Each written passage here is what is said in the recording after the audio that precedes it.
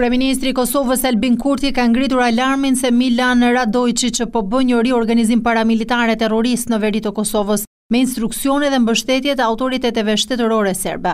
Ai shkruan se më dhjetë nëntor, Radoiçiç, i cili organizoi sulmin e Banjskës dhe fshihej pas rrëmbimit të tre policëve, ka drejtuar një takim me rreth dyzet politikanë serbë e zyrtarë të komunave ilegale nga Kosova. Pjesëmarrëse në mbledhjen e mbajtur në Rashkë sipas Kurtit ishte Svetlana Miladinov, zëvendëse e Petar Petkoviç, koordinatorit të së ashtuquajturës Zyrë të Serbisë për Kosovën. Aty është kërkuar mobilizim për votim të Partisë Shtet në Serbi, SNS, në zgjedhjet e shtatëmbëdhjetë dhjetorit. Ata që janë në listë të rrogave janë kushtëzuar me to, ndërkaq të tjerëve janë ofruar vende pune në periudha tre dhe gjashtë mujore, shkruan kryeministri Kurti. Ai thotë se KFOR, EULEX dhe Bashkimi Europian duhet të dalin me raport publik e zyrtar ku ia atribuojnë Serbisë aktin e agresionit dhe krimin e terrorizmit dhe ku dënohet riorganizimi i grupit të Radoiçiç. Edhe pas presionit ndërkombëtar, Serbia ende nuk ka tërhequr të gjitha trupat dhe artilerinë nga afërsia e territorit të Kosovës. Ajo vazhdon të kërcënojë sigurinë e Republikës së Kosovës, me bazat e mëparme